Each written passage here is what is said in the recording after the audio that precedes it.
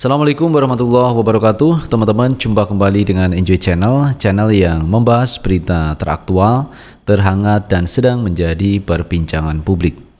Sahabat Enjoy Channel kali ini yang akan kita bahas yaitu mengenai Jakarta International Stadium atau JIS di mana JIS ini adalah gedung olahraga sepak bola yang dirancang dan dibangun di era Pak Anies Baswedan dan sudah selesai. Ketika Pak Anies sebelum purna dari Gubernur DKI Jakarta, ini JIS sudah diresmikan dan siap digunakan. Dan kemarin ada tim dari Barcelona dan Madrid sudah menjajal yaitu Jakarta International Stadium dan rasanya enak teman-teman dan mereka puas dengan gedung yang dibangun oleh Pak Anies Baswedan. Tapi berikutnya ada kabar bahwa JIS mau direnovasi katanya tidak sesuai standar FIFA dan bahkan eh, pihak pemerintah mengatakan rumput yang sudah ada itu mau diganti dan penggantian rumput ini memerlukan anggaran 6 miliar rupiah, angka yang cukup besar. Padahal rumput ini masih baru dan bisa digunakan. Karena belum ada event-event besar lainnya yang menggunakan uh, area rumput di stadion JIS tersebut. Jadi masih layak digunakan, tetapi katanya mau diganti. Belum lagi katanya uh, bus itu tidak masuk di area Jakarta International Stadium, tidak masuk di area parkirnya. Padahal sejatinya kalau kita lihat videonya itu bus itu mudah masuk di tempat tersebut, di area parkir, di area lorong kejis itu bisa masuk. Nah, teman-teman, untuk lebih jelasnya coba kita tonton video yang satu ini mengenai Jakarta International Stadium. Apakah bis itu bisa masuk atau tidak? Kita tonton video yang satu ini parkir pemain itu ada kendala sedikit untuk bus tidak bisa masuk. Ya. Saya ngomong fakta aja bang ya, mengenai pemain. Memang nggak bisa masuk bus besarnya. Kalau bus sedang bisa masuk. Ya, udah. Akhirnya apa? Kita beritahu nih bang, dipindahkanlah sekarang nanti untuk bus penumpang, bus bus pemain masuk ke situ. Karena atasnya ceiling ceilingnya ini nggak bisa masuk masuk situ terpaksa dipindah ke bawah dan akan dibangun eskalator ke atas. Perubahannya ada seperti itu. Jadi itu benar, itu fakta yang ada di lapangan yang saya nggak bisa mengatakan bahwa itu nggak ada, itu ada. Jadi ceilingnya nggak bisa masuk. Terima kasih bang. Menjawab tentang akses pemain yang bisnya tidak bisa masuk. Kebetulan saya bawa videonya, mohon diputarkan kita lihat sama-sama bagaimana bis pemain itu dengan leluasa dengan mudah masuk ke kawasan JIS dan sampai ke pintu pemain. Silahkan. Si Enggak ada bicara fakta, ada faktanya. Atau Barcelona.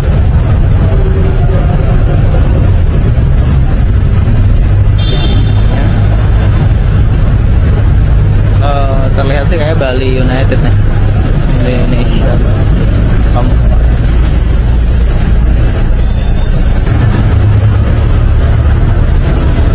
Itu adalah faktanya yang ada di sekarang gitu. Jadi bagaimana dramatisasi itu di media diucapkan oleh seorang menteri pemuda dan olahraga yang tidak sesuai dengan fakta yang ada di lapangan hari ini. Jadi itulah kenapa saya katakan ini penuh drama. Penuh dengan tendensi terhadap Anies karena kita punya rekam jejaknya, punya alasannya. Terima kasih, Bang. Inilah video bis bisa memasuki area Jakarta International Stadium. Dalam beberapa waktu terakhir, telah terjadi sebuah fitnah yang menjalar tentang bis yang tidak bisa memasuki area Jakarta International Stadium. Fitnah ini didalangi oleh pemerintah yang ingin menyesatkan publik dan membangkitkan ketidakpercayaan terhadap mantan Gubernur Anies Baswedan.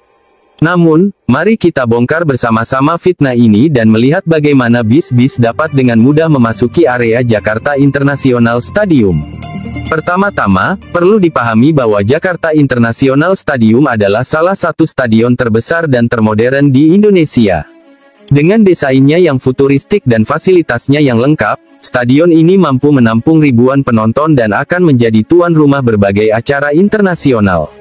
Oleh karena itu, mengklaim bahwa bis tidak bisa memasuki area ini adalah sebuah tuduhan yang tidak berdasar. Untuk menguak kebenaran, kita perlu memahami infrastruktur transportasi yang ada di sekitar Jakarta International Stadium. Stadion ini strategis terletak di daerah yang dapat diakses dengan berbagai moda transportasi, termasuk bis. Seiring dengan pertumbuhan infrastruktur jalan di Jakarta, jalan raya menuju stadion telah dikembangkan dan diperluas untuk memfasilitasi akses yang mudah bagi kendaraan umum seperti bis. Lebih jauh lagi, pemerintah Jakarta juga telah berkomitmen untuk meningkatkan fasilitas parkir di dekat Jakarta International Stadium. Area parkir yang luas dan teratur telah disediakan untuk melayani kendaraan pribadi maupun umum, termasuk bis. Hal ini menunjukkan bahwa pemerintah sangat serius dalam memastikan bahwa akses ke stadion tidak menjadi masalah bagi pengunjung yang menggunakan bis. Dalam konteks ini, fitnah yang mengklaim bahwa bis tidak bisa memasuki area Jakarta International Stadium sangat tidak berdasar. Fakta-fakta beserta video yang telah dijelaskan di atas dengan jelas membuktikan bahwa bis dapat dengan mudah memasuki area stadion tersebut. Kita tidak boleh terjebak dalam fitnah yang bertujuan untuk mencemarkan reputasi Anies Baswedan selaku inovator dalam pembangunan Jakarta International Stadium. Sebagai warga yang cerdas dan bertanggung jawab, penting bagi kita untuk mencari informasi yang akurat dan menghindari penyebaran berita palsu. Dengan memahami fakta sebenarnya, kita dapat menilai situasi dengan bijak dan mempercayai bahwa bis dapat masuk ke area Jakarta International Stadium dengan mudah. Nah itu sahabat Enjoy Channel terkait polemik mengenai Jakarta International Stadium. Kalau menurut pendapat saya intinya sebenarnya JIS itu sudah sesuai standar FIFA dan perencanaan pembangunannya juga eh, perancangnya ini dari Inggris teman yang biasa membangun stadium kelas dunia. Jadi tidak diragukan lagi.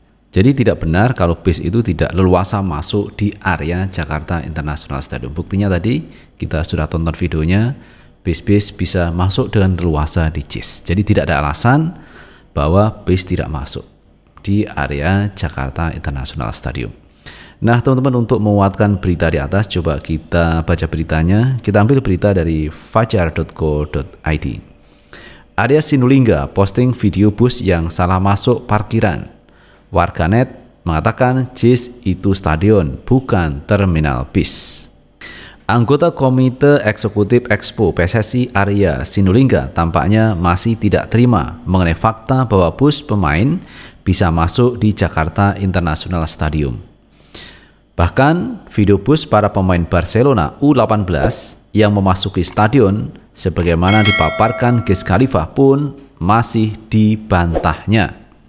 Masa kau percaya pembohong seperti Ed Giz Khalifa, tulis Arya Mahendra melalui akun Twitternya, Ed Arya Sinulinga, sembari menautkan video sebuah bus yang masuk di area basement Jakarta International Stadium. Postingan itu pun mendapat tanggapan sejumlah penggiat media sosial dan warganet. Mereka menjelaskan bahwa bus dalam video itu salah satu area parkir. Eko PSSI, staf ahli BUMN, tapi kok begini banget ya? Bukannya membantu Pak Erik? Kalau kayak gini malah jadinya ngerepotin, tulis akun Ed Rijal. Emang bahwa presiden atau gubernur ke atas ruang VIP dan atau VVIP harus memakai bus? Maksa banget. Ucap akun at Way. JIS itu stadion standar FIFA, bukan terminal bis ngap, celoteh akun at Bundu.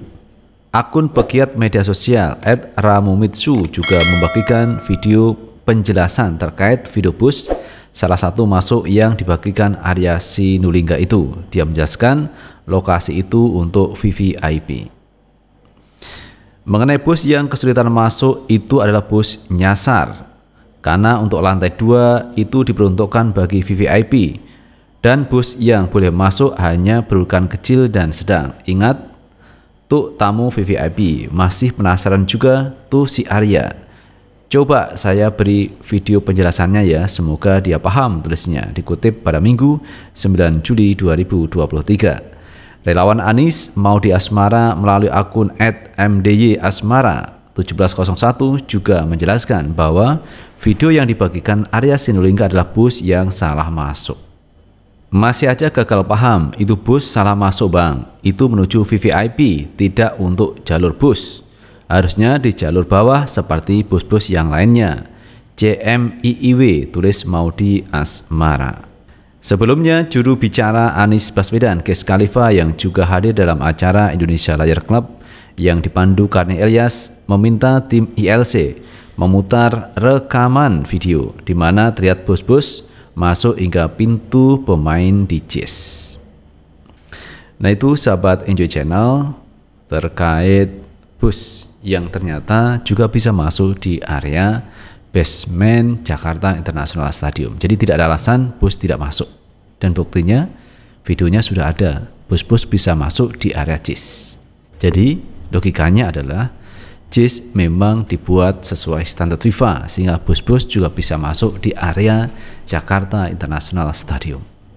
Nah, percaya mana teman? Bus bisa masuk atau bus tidak bisa masuk di area JIS? Semua tergantung dari teman-teman. Itu teman-teman yang bisa kita bahas kali ini dan terima kasih sudah menonton. Jangan lupa tetap like, subscribe, share, dan komen di channel ini agar kita bisa membangun channel ini menjadi lebih baik lagi. Sukses selalu. Assalamualaikum warahmatullahi wabarakatuh.